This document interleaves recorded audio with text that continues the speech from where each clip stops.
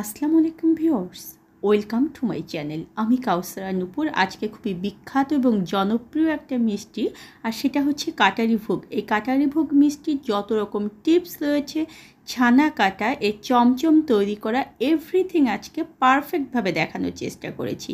আর যে কেউ এটা ফলো করলে আমার মতো এরকম সুন্দর মিষ্টি বানাতে পারবেন। আসুন দেখে ভোগ মিষ্টির ফার্স্ট স্টেপ হচ্ছে আমাদেরকে চমচম তৈরি করতে হবে। আর এই চমচম তৈরি করার জন্য এখানে আমি দুই লিটার পরিমাণ ফুল ক্রিমযুক্ত গাভীর দুধ নিয়েছি। আপনারা চাইলে প্যাকেট দুধও এখানে ব্যবহার করতে পারবেন, কিন্তু অবশ্যই সেটা কিন্তু ফুল ক্রিমযুক্ত দুধ হতে হবে। ফার্স্ট এই দুধটাকে একটা বলক তুলে নেব। দুধটা যখন দেখবেন যে এরকম বলক চলে আসবে, তখন চুলার জালটাকে আমরা বন্ধ করে দেব। এবং এই যে অতিরিক্ত একটা ভ্যাপার যে মধ্যে রয়েছে, সেটাকে জাস্ট দু মিনিট এভাবে নেড়ে চেড়ে অতিরিক্ত ভাবটা আমরা বের করে দেব। এখন দেখুন যে চার টেবিল চামচ পরিমাণ ভিনেগারের সঙ্গে আমি চার টেবিল চামচ পরিমাণ পানি নিয়েছি মিলিয়ে। ধীরে ধীরে এটাকে আমরা একটু করে দেবো এবং এভাবে নাড়তে থাকব। একটা সময় দেখবেন যে আমাদের ছানা এবং পানিটা একেবারে আলাদা হয়ে গিয়েছে। কখনোই প্রয়োজনের অতিরিক্ত ব্যবহার করবেন না। দেখুন, আমার কিন্তু কতগুলো বেঁচে গিয়েছে। এটা আমরা পরবর্তীতে আবার ব্যবহার করতে পারব। এখন এই ছানাটাকে, এই পানির মধ্যে কিন্তু আমরা বেশিক্ষণ রাখব না। তাহলে কিন্তু ছানাটা আমাদের ওভার কুক হয়ে যাবে। খুব দ্রুত এটাকে আমরা একটা স্টেইনারের উপরে একটা পাতলা কাপড় দিয়ে সেখানে ঢেলে দেবো। এবং দ্রুত আমাদের নর্মাল ওয়াটার দিয়ে এই ছানাটাকে ভালো মতো ধুয়ে নিতে হবে, যাতে করে এর মধ্যে কোনো ভিনেগারের গন্ধ না থাকে এবং ছানার মধ্যে যে অতিরিক্ত গরম ভাব সেটা যেন না থাকে। ভালো মতো ধুয়ে নেওয়ার পরে যে কাপড়টায় আপনি ছানাটাকে পেঁচাবেন, সেই কাপড়টা চারপাশ থেকে দেখুন যেভাবে পেঁচিয়ে নিতে হবে। নিয়ে এর মধ্যে যে বাড়তি পানি রয়েছে, সেই পানিটা জাস্ট এভাবে তিন থেকে চারবার একটু চাপ দিয়ে ফেলে দেবেন। দেওয়ার পরে এই পুঁটলিটাকে একটু ঢিলা করে, একেবারে টাইট করে কিন্তু বাঁধবেন না, একটু ঢিলা করে দেখুন যেভাবে আমি বেঁধে নিলাম। নেওয়ার পরে এটাকে আমরা ঝুলিয়ে রাখব দু ঘণ্টার জন্য কোনো উঁচু স্থান। দু ঘণ্টা পরে দেখুন যে আমি ছানাটাকে নামিয়ে নিয়েছি, আর আমার ছানাটা একেবারে পারফেক্ট হয়েছে। এখন একটা বড় পাত্র নিয়ে নিতে হবে যাতে সেখানে আমরা ভালো মতো এই ছানাটাকে মথে নিতে পারি।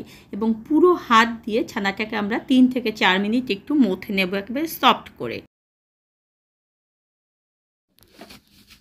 দেখুন যে ভালো মতো কিন্তু আমি এটাকে একদম সুন্দর মতো মথে নিয়েছি। এখন এই ছানাটার মধ্যে আমার কিছু ইনগ্রিডিয়েন্টস যোগ করতে হবে। যেহেতু এটা চমচম তৈরি করব আমি। এখন এখানে দেখুন যে আমি তিন টেবিল চামচ মানে আমাদের মেজারমেন্ট যে টেবিল চামচ রয়েছে, সেটা দিয়ে আমি তিন টেবিল চামচ পরিমাণ ময়দা দিয়ে দিচ্ছি। আর এখানে আমি তিন টেবিল চামচ পরিমাণ সুজি দিয়ে দিচ্ছি। এই টেবিল চামচ দিয়েই আমি এখানে দুই টেবিল চামচ পরিমাণ চিনি দিয়ে দিচ্ছি। আর এখানে আমি ব্যবহার করছি তিন চিমটি। তিন চিমটি আমি মেপে নিয়েছি। দেখুন যে জাস্ট আ পিন্স একটা চামচ থাকে। যদি আপনাদের মেজারমেন্ট চামচ এটা থাকে, তাহলে ভালো, সেটা দিয়ে এক, নেবেন এক চামচ। আর যদি না থাকে, তাহলে আপনারা চিমটি হাতের দুই আঙ্গুল দিয়ে ধরে তিন চিমটি পরিমাণ বেকিং পাউডার এখানে ব্যবহার করবেন। দেখুন, খুবই সামান্য। বেকিং পাউডারের বেলায় অবশ্যই সতর্ক থাকতে হবে। আর এখানে আমি ব্যবহার করব এক চা চামচ পরিমাণ ঘি। দেখুন, আমি ঘরে গাওয়া ঘি তৈরি করেছি। এটার কিন্তু রেসিপি আমার চ্যানেলে রয়েছে। আমি ডিসক্রিপশন বক্সে আপনাদেরকে এটা লিঙ্ক দিয়ে দেবো। সে অনুযায়ী আপনারা ঘরে খুব সহজে বাটার এবং ঘি তৈরি করতে পারবেন। এখন এই সব কিছু ভালো মতো মিলিয়ে আমি এটাকে আট থেকে দশ মিনিট পর্যন্ত মথে নেব।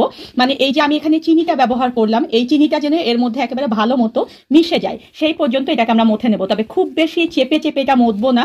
তার কারণ যদি আমাদের এই ছানা থেকে, এই যে ছানায় যেটা তেল থাকে, এই তেলটা আমাদের হাতে যদি উঠে আসে, তাহলে বুঝতে হবে যে আমাদের এই মিষ্টিটা চুপসে যাবে। মিষ্টি চুপসে যাওয়ার কিন্তু এটা একটা কারণ। আমি এক নম্বর কারণ আপনাদেরকে বলে দিলাম। এখন এটাকে আমি খুব সুন্দর করে আগে মুথে নেব।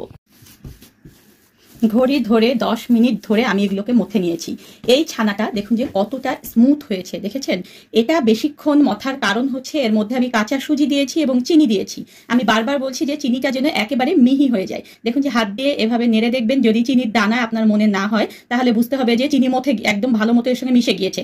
আরও একটা ভাবে টেস্ট করতে পারেন, সেটা হচ্ছে একটু ছানা নিয়ে দাঁতের নিচে চিবিয়ে দেখবেন। যদি আপনার দানা দানা মনে না হয় দাঁতের নিচে, তাহলেও বুঝতে হবে যে আপনার চিনিটা ভালো মতো এখানে মিশে গিয়েছে। এখন ঠিক এই অবস্থা অবস্থায় এটাকে আমি রেখে আমরা ফার্স্ট এটা শিরা তৈরি করব।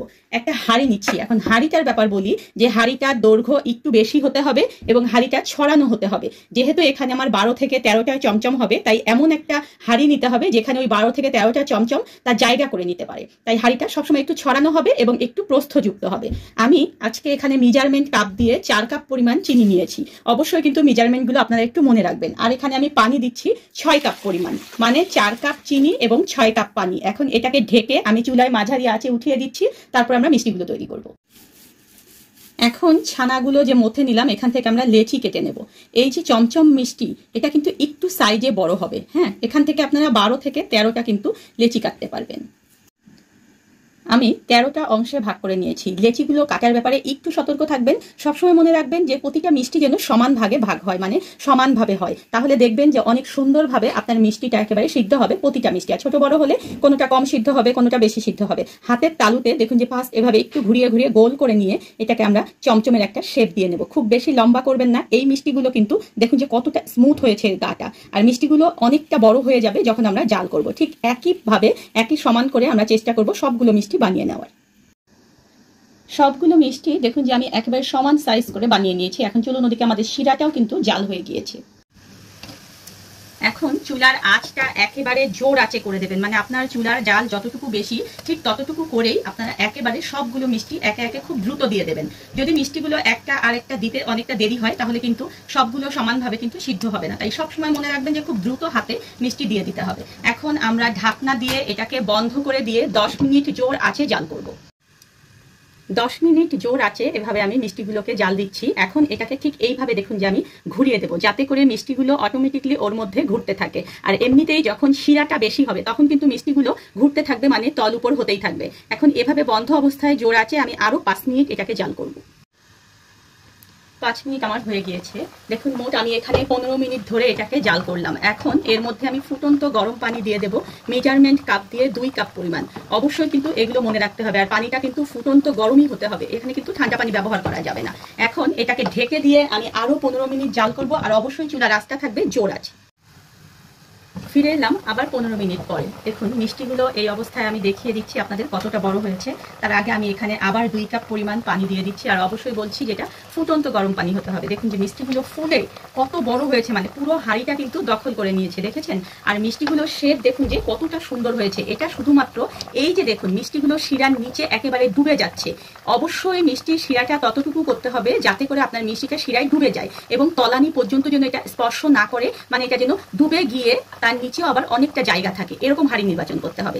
এখন এটাকে আমি আবার ঢেকে দেবো এবং জোর আছে পনেরো মিনিট রান্না করব এবং আরও একটা কথা বলে রাখি, আমি আরও একবার পনেরো মিনিট পরে দুই কাপ পানি দিয়ে এটাকে আরও পনেরো মিনিট জাল করব। মানে মোট আমার এক ঘণ্টা জাল হবে। ফার্স্ট আমি পাঁচ মিনিট এবং দশ মিনিট পনেরো মিনিট জাল করেছিলাম। তারপরে পনেরো মিনিট জাল করেছি। এখন পানি দিয়ে আবার পনেরো মিনিট করব এবং পনেরো মিনিট পরে আমি আবার দুই কাপ পানি দিয়ে আরও পনেরো মিনিট জাল করব। পুরোপুরি এক ঘণ্টা আমি মিষ্টিগুলোকে জোর আছে জাল করেছি। আর এগুলো কিন্তু খুবই সুন্দর হয়ে গিয়েছে। এত সুন্দর এগুলো হয়েছে। এখন চুলার জালটাকে মিডিয়াম লো করে দিতে হবে। আমি চুলার জালটা আপনাদেরকে দেখাই, ঠিক এরকম মিডিয়াম লো করতে হবে। আর এর মধ্যে আমি দুই কাপ পরিমাণ পানি দিয়ে দিচ্ছি। আর অবশ্যই বারবার বলছি, যখনই পানি মিলাবেন, সেটা যেন ফুটন্ত গরম পানি হয়। দেখুন এইভাবে করে আমি এখন ঢেকে রাখব এটাকে। এবং এটাকে আমি পুরোপুরি দুই ঘণ্টা রান্না করব, এরকম মিডিয়াম লো আছে। ঠিক যখনই দেখবেন যে শিরাটা আপনার ঘন হয়ে যাচ্ছে, তখনই সেখানে ফুটন্ত গরম পানি মিলাতে হবে। সেটা আপনারা দশ থেকে পনেরো মিনিট পর পর ঢাকনাটা তুলে দেখবেন যে শিরাটা যখন দেখবেন যে একটু কমে গিয়েছে, তখনই সেখানে আপনারা এক থেকে দেড় কাপ বা দুই কাপ পরিমাণ গরম পানি দিয়ে দিয়ে এটাকে রান্না করবেন। মানে এটাকে আমি এখন থেকে আরও দুই ঘণ্টা পর্যন্ত মিডিয়াম লো হিটে জাল করব। পুরোপুরি দেখুন যে দুই ঘণ্টা হয়ে গিয়েছে। মানে আমি মাঝারি লো আছে, এটাকে দুই ঘণ্টা ধরে জাল করলাম। আর এর মধ্যে আমি পনেরো থেকে বিশ মিনিট পর পর কিন্তু এখানে পানি দিয়েছি, আর সেটা গরম পানি। এখন আমার মোট এটা জাল হলো হচ্ছে তিন ঘণ্টা। কাটাই ভোগ মিষ্টির ফার্স্ট স্টেপ কিন্তু আমার শেষ হয়ে গিয়েছে। মানে আমার চমচমগুলো একদম হয়ে গিয়েছে। এখন এই শিরাটা ঘন হয়েছে, তাই এখানে আমি আবার এক কাপ পরিমাণ পানি দিয়ে শিরাটাকে পাতলা করলাম। আর এই মিষ্টিটাকে এখন আমি ঢেকে রেখে দেবো চার থেকে পাঁচ ঘণ্টা, যাতে করে শিরাগুলোর মধ্যে ঢুকে যায়। সারা রাত ভিজিয়ে রাখার পরে দেখুন যে চমচমগুলো এত সুন্দরভাবে এর মধ্যে শিরা ঢুকে গিয়েছে। এখন এই চমচমগুলোকে একটা স্টেইনারের উপরে তুলে রাখতে হবে যাতে করে এর বাড়তি শিরাটা পড়ে যায়। কাটাইভোগ মিষ্টির সেকেন্ড স্টেপ হচ্ছে আমাদেরকে মাওয়া তৈরি করতে হবে। আর তাই এখানে আমি এক লিটার পরিমাণ ফুল ক্রিমযুক্ত দুধ নিয়েছি। আর এখানে আমি হাফ কাপ পরিমাণ ফুল ক্রিমযুক্ত গুঁড়ো দুধ এখানে মিলিয়ে দিয়েছি। অবশ্যই কিন্তু গুঁড়ো দুধটা ঠান্ডা দুধের মধ্যে মিলাতে হবে, নাহলে কিন্তু দলা হয়ে যাবে। আর মনে রাখবেন যে যে কোনো ব্র্যান্ডের গুঁড়ো দুধই আপনারা ব্যবহার করতে পারবেন, তবে অবশ্যই কিন্তু সেটা ফুল ফ্যাটযুক্ত দুধ হতে হবে। আমি এখানে ডিপ্লোমা ব্র্যান্ডের গুঁড়ো দুধ ব্যবহার করেছি। আর একেবারে মাঝারি তাপমাত্রায় নেড়ে চেড়ে এই দুধটাকে আমাদের ঘন করতে হবে। মনে রাখবেন আরও একটা কথা যে কখনোই যেন নিচে লেগে না যায়, তাহলে কিন্তু পোড়া গন্ধ লাগবে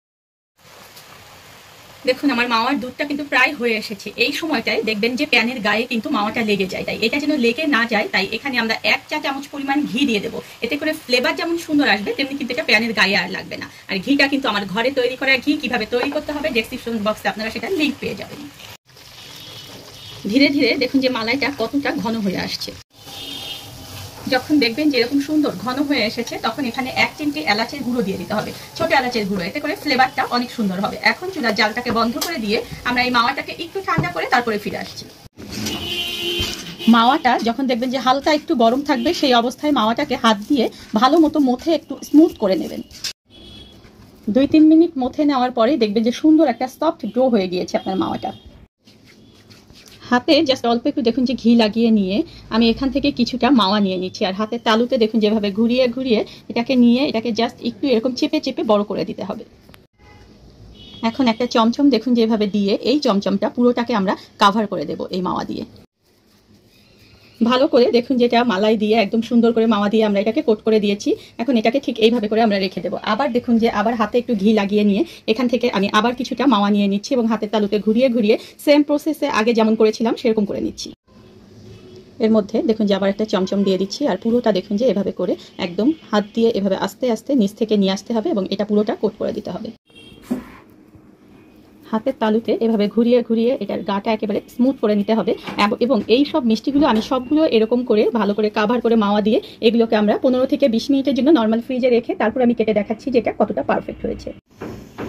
ফ্রিজ থেকে বের করে নিয়ে আসার পরে দেখুন যে এগুলো কতটা শক্ত হয়ে গিয়েছে। এখন এগুলো ঠিক আপনারা কতটুকু করে কাটতে চান সেটা কিন্তু সম্পূর্ণই আপনার ব্যাপার। আপনি এটাকে পাতলা করেও স্লাইস করতে পারবেন, আবার দেখা যায় এগুলোকে ভারী করেও কিন্তু স্লাইস করতে পারবেন। দেখুন কত সুন্দর হয়েছে ভিতরটা, দেখেছেন? আর আমি যে রেসিপিটা আপনাদেরকে দিচ্ছি, সেই রেসিপি কিন্তু আমি সব সময় চেষ্টা করি একেবারে পারফেক্ট দেওয়ার। আমার অন্যান্য যে মিষ্টির রেসিপি রয়েছে সেগুলোতেও দেখবেন যে একেবারে পারফেক্ট রেসিপি কিন্তু আমি দিয়েছি। ধন্যবাদ সবাইকে আমার সঙ্গে থাকার জন্য, আর আমার পরবর্তীতে আরও নতুন কোনো ভিডিও পেতে হলে প্লিজ আমার চ্যানেলটা সাবস্ক্রাইব করে পাশেই থাকবেন।